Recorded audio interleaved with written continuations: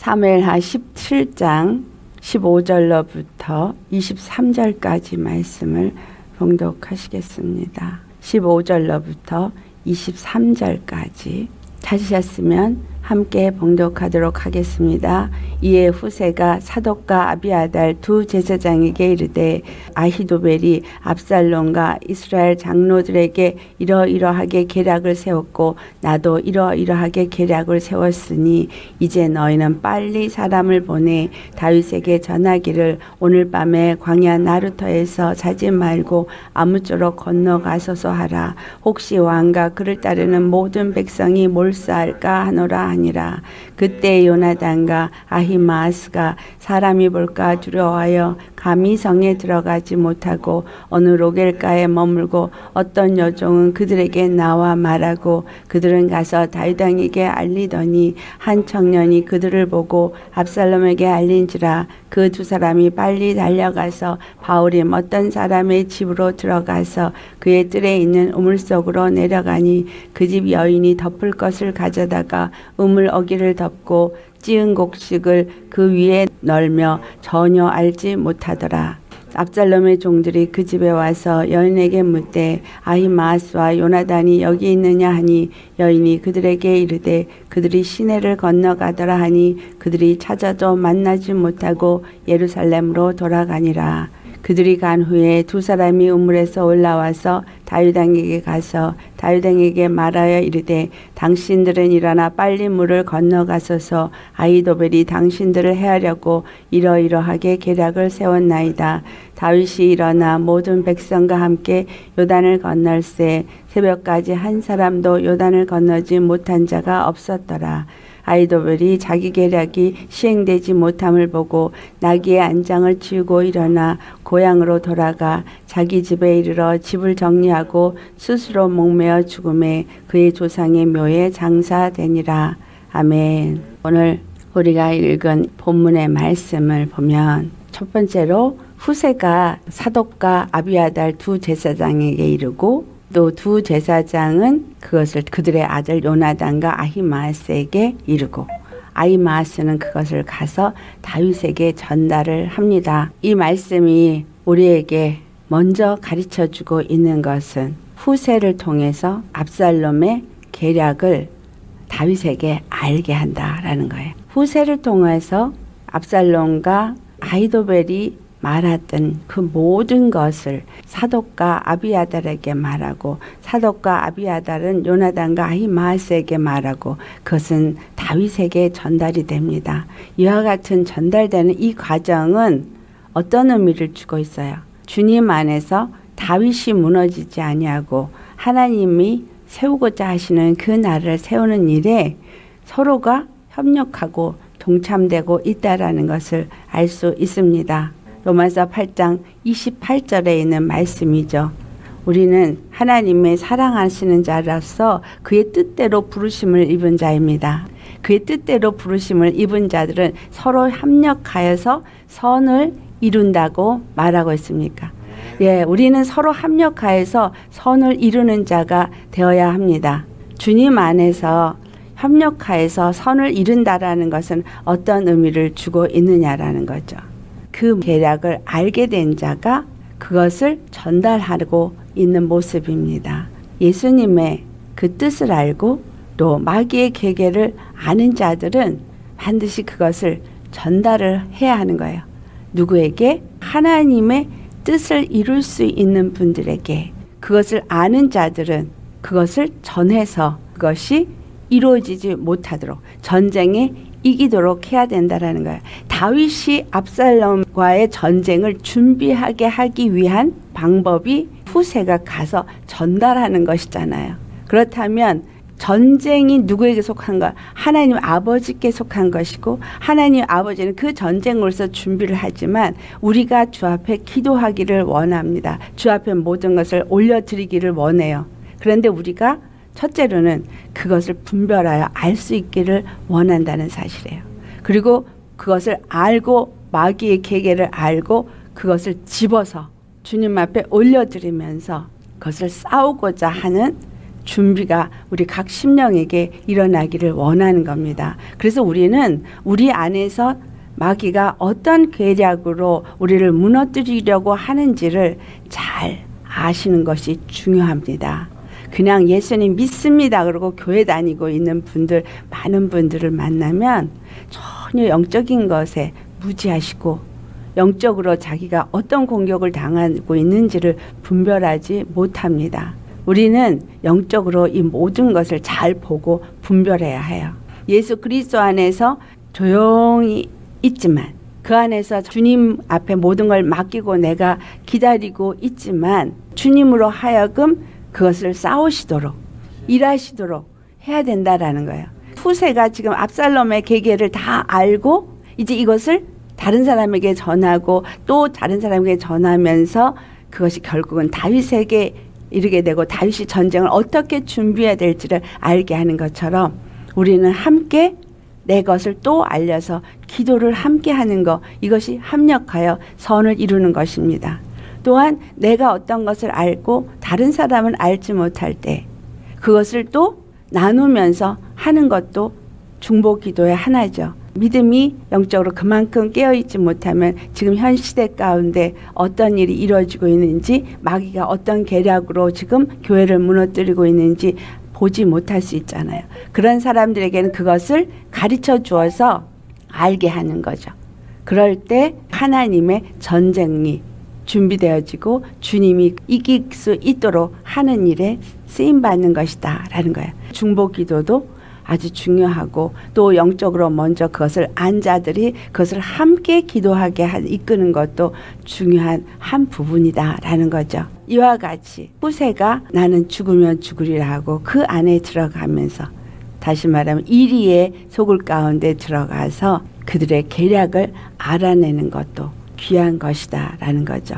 그런데 요나단이나 아히마스는 그 성 안에 들어가지 않았지만 성으로부터 말씀의 메신저가 와서 그것을 전해 주었을 때 그것을 가지고 이제 전하러 갑니다. 그런데 그들이 가는 길에 방해가 있었어요. 어떤 방해가 있었느냐? 여종은 그것을 요나단과 아히마스에게 말하고 이제 요나단과 아히마스는 그걸 전하기 위해서 가는데 압살롬의 편인 한 청년이 그것을 본 거예요. 18절 말씀에 나오죠. 이 두 사람이 빨리 달려가서 어디에 가느냐? 비우림 어떤 사람의 집에 들어가서 그의 뜰에 있는 우물 속으로 내려갑니다. 이 말씀이 우리에게 무엇을 말하고 있느냐? 이스라엘에 가면 우물이 있어요. 그런데 우물이 한 집에 있지를 않고요. 그 한 마을에 우물이 한 개씩 있습니다. 한 마을에 우물이 하나 있어서 그 마을에 있는 사람은 다 그 우물에서 물을 길어다 먹어요. 수돗물이 있어서 우물이 있는 것이 아니라 한국처럼 펌프를 해가지고 우물을 뽑아낸 것이 아니라 깊이 파놓은 우물일 뿐이에요. 이 우물에는 하늘에서부터 내려온 비를 거기는 1년에 두 번 아주 굉장하게 비가 많이 옵니다. 그래서 이른 비와 늦은 비라는 말이 있죠. 1년에 두 차례 아주 강한 비가 옵니다. 중간중간에 조금씩 오는 거든 많이 오는 거든 거기에다 가득 담아 놓는다라는 거예요. 그래서 우물이 굉장히 크고 깊습니다. 그리고 우물에는 계단이 있어서 내려갈 수 있게끔 해놨어요. 워낙 깊으니까. 그래서 떠먹으면 떠먹은 대로 점점 점점 우물 계단을 밑으로 내려가서 바닥을 칠 때까지 그 우물을 퍼서 마을 사람들이 다 공동으로 먹습니다. 우물이 없으면 그들은 절대로 살 수가 없어요. 왜냐하면 물이 없는 곳이니까. 그렇기 때문에 이 우물이 그들에게는 중요한 한 마을의 가운데에 있어요. 아주 중요한 것이죠. 우물과 그리고 그들에겐 회당이 제일 중요합니다. 그런데 이 집은 비후림의 어떤 사람의 집에는 그들의 우물이 있다. 그러면 이거는 뭘 말할까요? 비우림의 어떤 집에 그냥 우물이 있으니까 그 우물에 숨었구나. 그 말씀이 아닙니다. 이스라엘 가서 돌아다니면서 여기도 우물 저기도 우물 제 우물이 있네 라고 그냥 생각하고 지나가는데 주님이 그때 제 안에서 말씀하셨어요. 저게 바로 생수의 우물인 나다. 그래서 거기서 제가 너무나 너무나 놀랐고 감동을 받아서 눈물을 흘렸어요. 그렇구나. 예수님의 그 우물에서 우리가 물을 길어 먹지 않으면 우리는 살 수 없는 자이구나. 반드시 우리의 모임 가운데 우물이 있어야 되는 거구나 라고 생각을 했거든요. 비후림 안에 우물을 가진 사람이 있다라는 거예요. 누구여야 되는 거예요? 하나님이 집이 우물을 가진 거예요. 우리가 우물을 가지셨습니까? 이게 아주 중요한 거죠. 나는 우물을 가진 자이냐? 하나님의 집이 우물을 가졌고 우리 예수님이 바로 우리의 생수를 길어 마실 수 있는 우물이라는 거예요. 그들이 바로 이 우물을 가진 집에 가서 그 우물에 숨었다라는 말씀은 우리 주 예수님 안에 숨은 것을 말하고 있죠. 주님의 품 안에 숨은 것입니다. 요한복음 4장 10절 말씀 요한복음 4장 10절 같이 봉독하시겠습니다. 예수께서 대답하여 이르시되 내가 만일 하나님의 선물과 또 내게 물 좀 달라 하는 이가 누구인 줄 알았더라면 내가 그에게 구하였을 것이요 그가 생수를 내게 주었으리라. 예수님이 사마리아의 한 성에 이르러서 여인과 대화를 합니다. 그런데 예수님이 먼저 그 여인에게 우물을 구합니다. 우물을 구할 때 그 여인은 유대인인 당신이 어찌 사마리아인 나에게 말을 거나 하면서 의아해 합니다. 그러면서 이제 그 우물에 물을 구하는 사람에게 친절하지 않았어요. 당신이 뭐 이러면서 왜 마음에 상한 게 많거든요. 그 여인이. 그럴 때 예수님이 내게 지금 물을 구하는 자가 누구인지 내가 알았다면 네가 그에게 생수를 구할 것이다. 라고 말씀하고 있어요. 이 말씀은 세상에 그 여인이 하는 말이 우리 이 야곱의 우물은 우리 조상이 먹고 짐승도 먹고 다 먹을 만큼 아주 중요한 우물이라는 말을 합니다.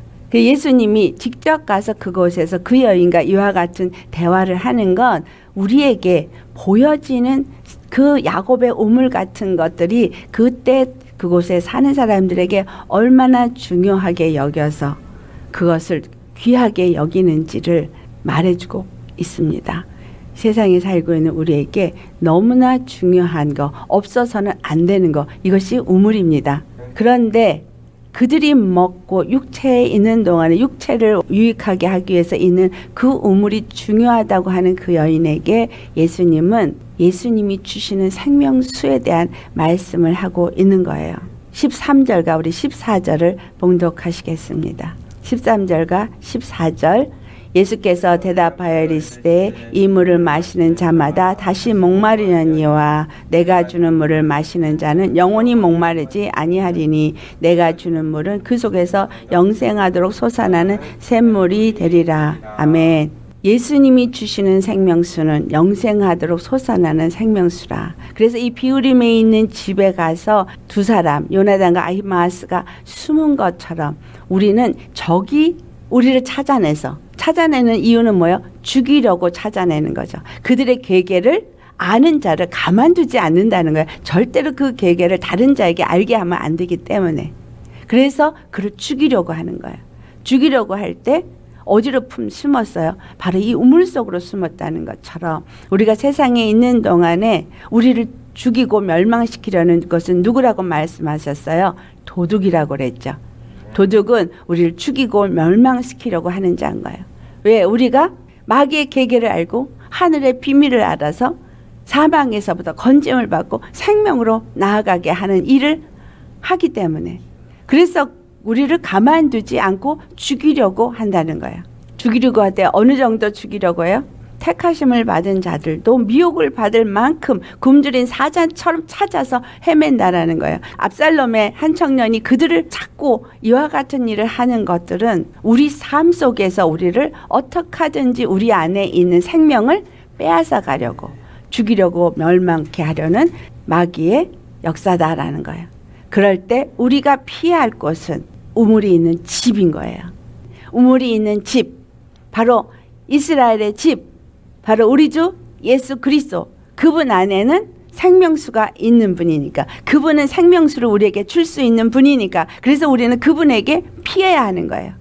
나를 살릴 수 있는 물 그것이 육체가 유익하게 하는 우물이 우리에게 필요하겠지만 그것보다 더 중요한 것은 주님이 말씀하셨잖아요. 썩을 양식을 위해서 구하지 말라고. 썩지 아니할 그 영생하도록 있을 그 양식을 위해서 구하라고 하신 말씀. 우리 어저께 갈라디아서 5장 17절 말씀을 했잖아요. 자, 주님 안에서 우리가 구할 것은 썩을 양식이 아니라 내 육체에 유익하게 하는 이것이 아니라 영생하도록 우리에게 주어지는 양식. 우리에게 목마름이 없고 가람이 없도록 주어지는 그 안에서 영생하도록 솟아나는 샘물을 구해야 하는 거예요.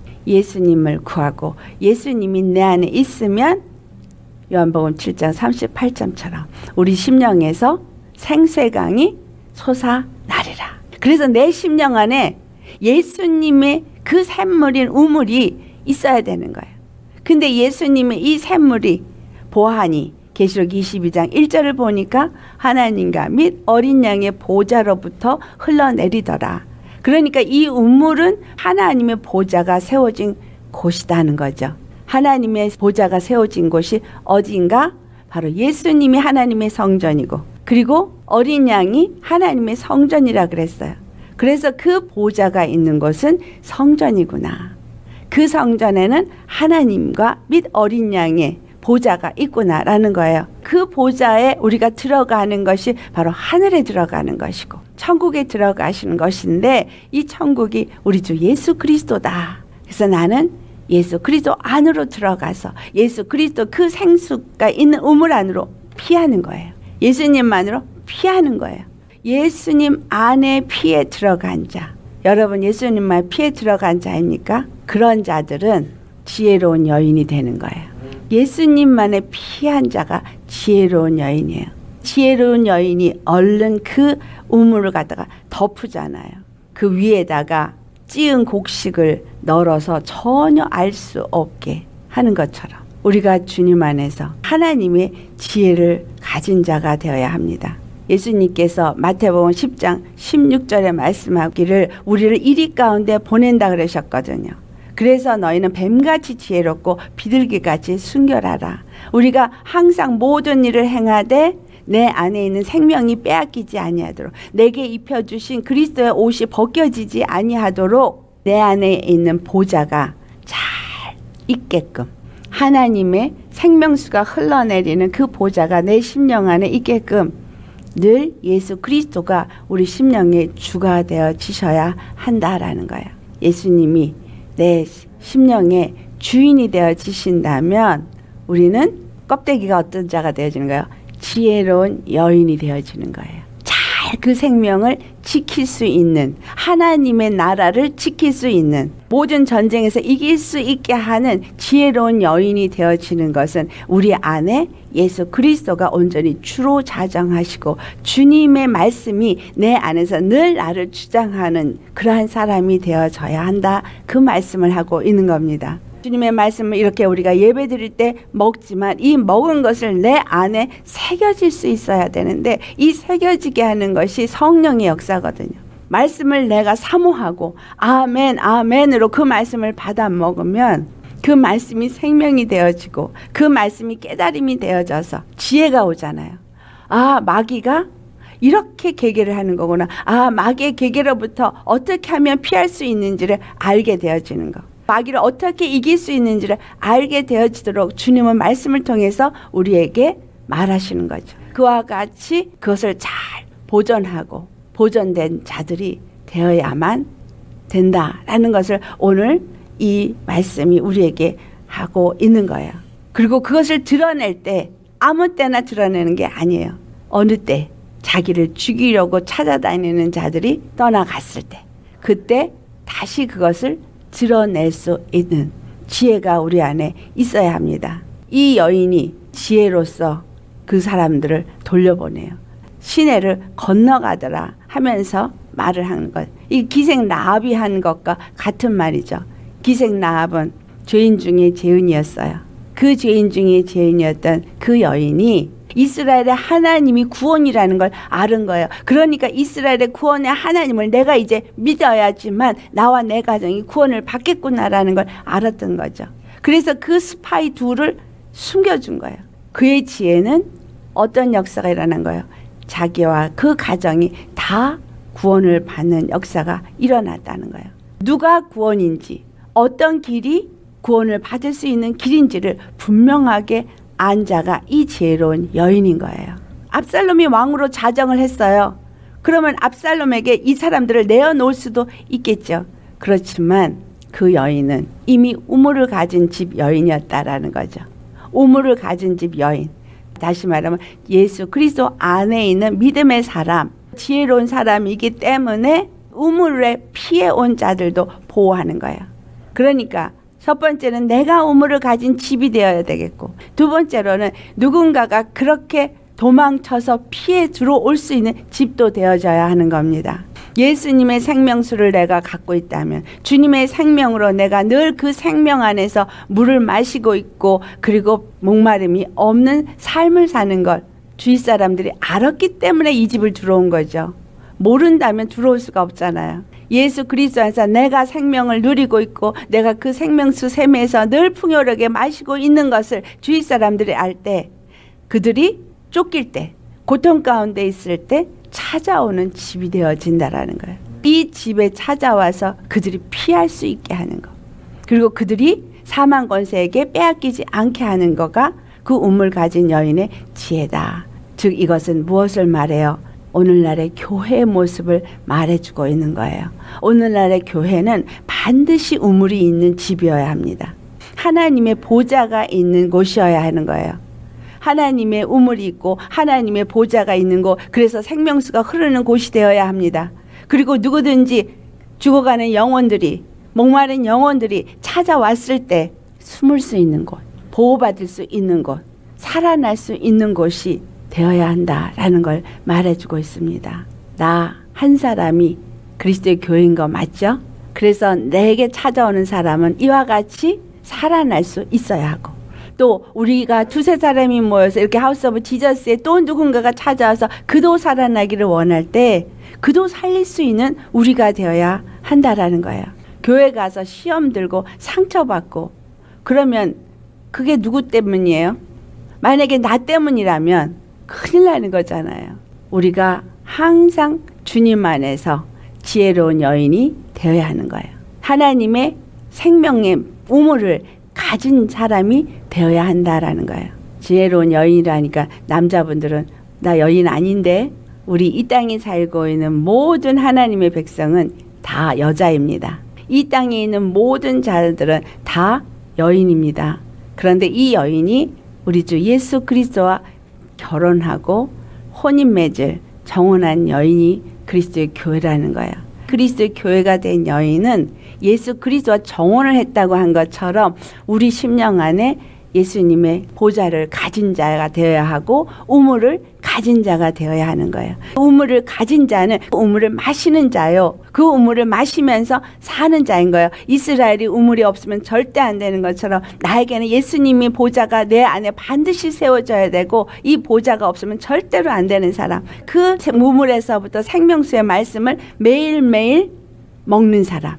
매일매일 마시는 사람 썩을 양식을 구하지 아니하고 썩지 아니하고 영생하도록 있을 그 양식을 매일같이 먹고 마시고 그렇게 주님의 보좌가 내 안에 있는 사람이 나도 살고 다른 사람도 살릴 수 있는 자가 되어지는 겁니다. 다른 영혼을 살릴 수 있는 그리스도의 교회가 되어져야 하는 것이 또한 주님이 우리에게 원하시는 것이다 라는 겁니다. 우리는 예수 그리스도 안에서 지혜로운 그리스도의 교회가 되어져서 다윗으로부터 승리를 얻도록 하는 자가 되어야 합니다. 하나님의 나라가 온전히 세워져서 반역하는 역사들을 다 진멸하시고 예수 그리스도만이 우리의 왕이시다라는 것을 드러내는 그날까지 우리는 그 일에 동참하고 승리하는 자가 되어야 합니다. 하나님의 생명수를 마시는 자, 그들은 복음을 전하는 자가 돼요. 수가성 여인이 예수님을 만나고 나서 예수님으로 말미암아 그가 심령에서부터 바로 이 생수를 만난 자가 되어지는 거예요. 그 야곱의 우물을 기대하고 의지하고 살았던 여인이 그 물을 아무리 마셔도 자기 안에 심령의 메말름이 해소되지 않던 여인이 예수님을 만나서 대화하는 동안에 그 안에서 생명수가 솟아났어요. 그리고 그 안에 있는 모든 상처들이 치유를 받고 그가 기다렸던 메시아를 드디어 만난 거예요.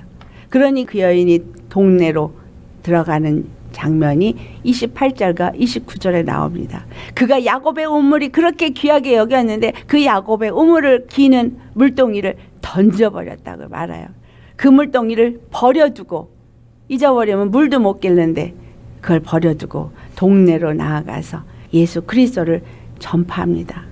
내가 행한 모든 일을 내게 말한 사람을 와서 보라. 이는 그리스도가 아니냐. 그가 그리스도 메시아를 기다렸던 자였어요.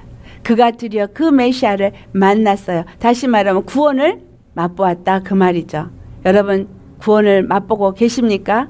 여러분 심령이 메시아를 만나고 계십니까? 그리스도를 만나셨습니까? 그러면 그 만난 그리스도를 결국은 나아가서 전하는 자가 되는 거예요. 그 우물에서부터 들어갔다가 그 우물에서부터 나온 자들이 가서 그 모든 소식을 전하는 것처럼 우리는 예수 그리스도의 생수의 맛을 보고 그것을 안자가 되었을 때 나아가서 그것을 전할 수 있는 자가 되어진다라는 거예요. 주님 안에서 이와 같은 일을 하는 것을 예수님이 그들에게 찾아온 제자들에게 말씀합니다. 예수님께 양식을 이제 먹을 것을 구해 가지고 왔어요. 그랬을 때 예수님이 하신 말씀이 요한복음 4장 34절의 말씀입니다. 우리 같이 봉독하시겠습니다. 예수께서 이르시되 나의 양식은 나를 보내신 이의 뜻을 행하며 그의 일을 온전히 이루는 이것이니라. 아멘. 예수님의 양식은 하나님 아버지의 뜻을 이루는 거예요. 그리고 그 일을 온전히 하는 거예요. 그러면 내가 오늘 예수 믿는 사람으로서 그리스도의 교회가 되어졌다면 우리의 양식도 이것이 되어져야 한다는 거예요. 썩지 않는 양식. 영생하도록 우리에게 주어진 그 양식 하나님의 말씀이에요. 그래서 그 말씀을 열심히 먹으면 돼요. 그게 아니라는 거죠. 그 말씀을 먹었다라는 것은 하나가 되어졌다는 의미잖아요. 먹고 하나가 되어진 자들은 당연히 사명을 받은 자가 되어져서 당연히 그 생명의 맛을 본 자가 되어져서 결국은 전하는 자가 되어지게 되어져 있다는 거죠. 하나님의 뜻은 나 한 사람의 구원만을 이루는 것이 아니라 모든 자들이 예수 그리스도 안에서 에베소 1장 10절의 말씀을 아시죠? 예수 그리스도 안에서 만유를 통일하기 원하시는 것이 하나님의 뜻입니다. 만유를 예수 그리스도 안에서 통일하게 하기 위해서 예수 그리스도를 예정하시고 예수 그리스도 안에서 우리를 예정하셨어요. 그리고 우리를 통해서 바로 그 일을 이루시고 예수 그리스도가 모든 만물의 통치자가 되도록 하는 것. 모든 영광을 우리 주 예수 그리스도를 통해서 하나님 아버지께 돌리게 하는 것. 이것이 하나님의 뜻이에요. 그렇게 하기 위해서 인간의 구원이 이루어집니다. 바로 나의 구원이 이루어져야 되는 거예요. 맛봐야 되는 거예요. 두 번째, 마귀는 진멸이 돼야 되는 거예요. 나의 모든 삶에서 마귀는 진멸이 돼야 돼야 돼요. 그리고 예수 그리스도만이 바로 나의 구원인 것을 드러내셔야 합니다. 그때 하나님이 영광을 받으시는 거예요. 그래서 십자가에서 예수님이 죽으시고 부활하셔서 사람을 구원하고 마귀를 진멸하고 하나님 앞에 영광을 돌리신 것입니다. 그 일이 내 삶에서도 매일 일어나야 되는 거예요. 내가 구원을 맛봐야 되고 마귀는 진멸되어야 되고 하나님 아버지께는 영광을 돌려야 하는 거. 아멘. 이것이 아버지의 뜻을 이루는 거야. 이게 내 양식이라는 거야. 내가 이와 같은 일을 주님 안에서 말씀을 먹고 그와 같이 주님 안에서 그 뜻을 이루어 가면은 내 영혼이 더욱더 강건해지게 되어지는 거죠. 말씀을 먹었어도 행함이 없는 믿음은 죽은 믿음이라고 한 거예요. 말씀을 아무리 먹어도 그 뜻을 알지 못하고 그 뜻대로 행하지 않는 자는 말씀을 먹은 게 아니거든요. 그러니까 말씀을 먹지 못했으니까 생명을 얻지 못한 자요. 결국은 죽은 자다. 그거죠. 나 혼자만 먹고 나 혼자만 아 좋다. 그거는 제대로 먹은 게 아닌 거예요. 이 안에 예수님을 만나 기쁨이 있고 이것이 귀하다고 느껴지면 입을 다물고 있을 수가 없어요. 이 여인처럼 가서 동네 가가지고 전하죠.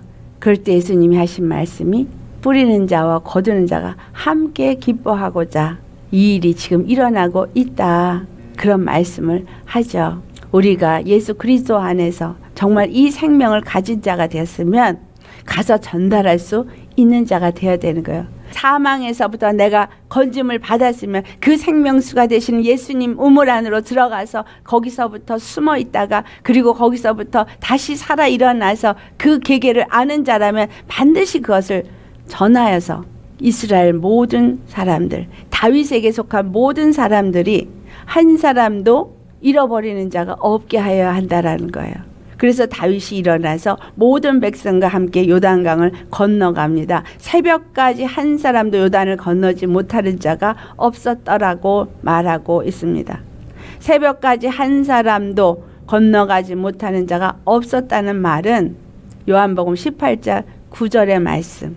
예수님이 하신 말씀이 아버지께서 내게 주신 자 중에 하나도 잃지 아니하였나니 라고 하신 말씀을 응하게 하려 함입니다.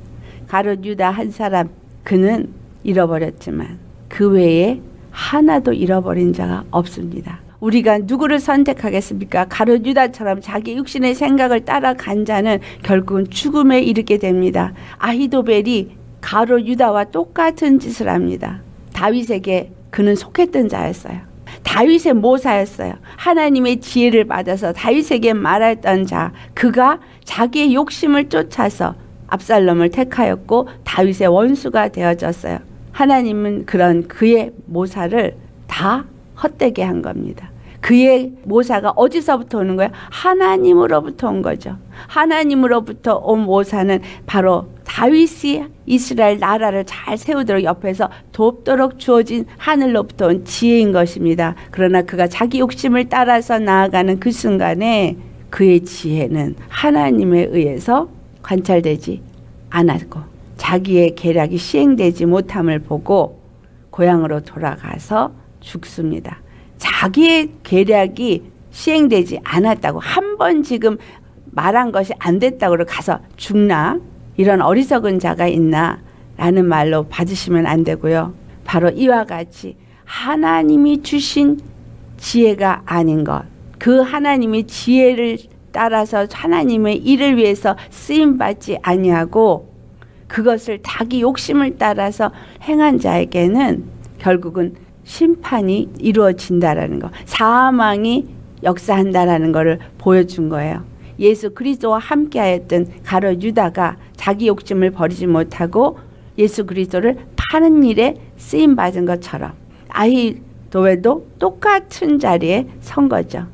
그래서 그도 가로 유다와 같이 자기 목숨을 자기 뜻대로 이루어지지 않았기 때문에 목숨을 버렸습니다. 가로 유다도 아히도벨도 이와 같이 되어졌을 때 여호와 하나님 앞에서 참으로 그들의 행하고자 했던 마음을 회개하고 돌이켰다면 구원을 받을 수 있었을 것입니다.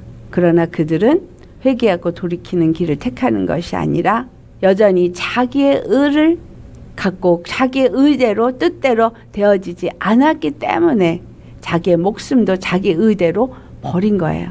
이런 자들에겐 절대 구원이 없습니다. 그래서 여러분 자살한 사람들에겐 구원이 없습니다.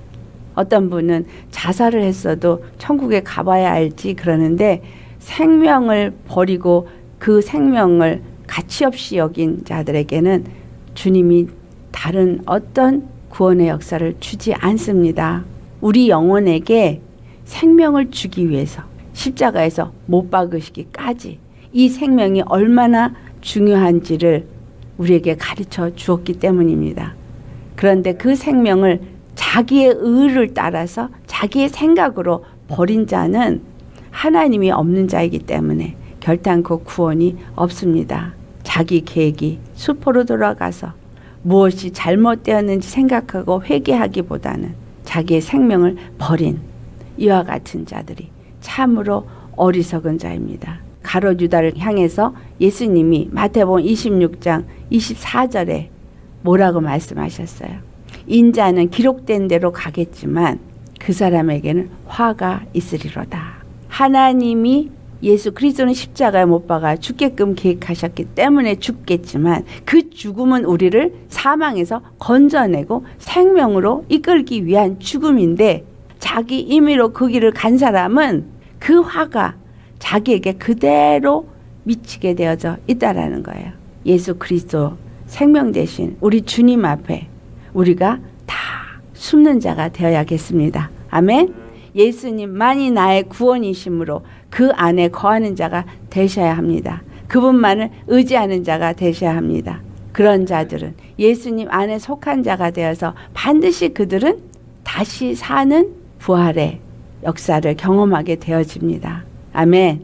이 말씀 속에서 내가 피할 곳이 어디인지, 나에게 구원을 주고 나에게 생명을 주는 것이 어디인지를 분명하게 제시해 주고 있습니다. 또한 그 길에 서지 않은 자에게는 어떤 결과가 오는지를 또 말해주고 있어요. 성경은 계속해서 우리에게 선택을 말해주고 있어요.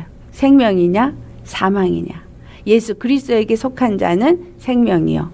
예수 그리스도에게 속하지 않은 자는 사망이다. 우리의 선택을 항상 어디를 선택하고 어떻게 살아야 될지를 말해주고 있습니다. 오늘도 똑같이 우리에게 우리의 진정한 우물이 있는 집으로 피신한 자가 되어지고 그래서 그 우물을 가진 지혜로운 여인이 되어져서 나도 살고 다른 영혼도 살고 그렇게 해서 하나님의 나라를 세우고 하나님께서 전쟁에 이겨서 하나님이 하시고자 하시는 모든 뜻이 우리 가운데서 이루어지도록 해야 한다라는 것을 말씀하고 계십니다. 아멘. 여러분 예수님 안으로 피하고 계십니까? 네. 예수님한테 피하는 것 같은 거 말고요. 항상 모든 것에 예수님 안에 피하고 예수님의 생명수를 마시는 그런 사람이 되시기를 축원합니다. 이 말씀 하나하나 속에서 보화를 하나하나 찾아내는 것처럼 성경 속에서 말씀을 찾아낼 때마다 놀라는 건 어떻게 이렇게 예수님은 곳곳에 그 예수 그리스도로 말미암아 우리가 구원을 받는 비밀들을 숨겨 놓으셨나 참 놀랍습니다. 정말 예수님 밖에는 우리가 피할 곳이 없습니다. 우리 주 예수 그리스도 안에서 이 축복이 저와 여러분에게 있기를 축원합니다. 할렐루야. 아멘.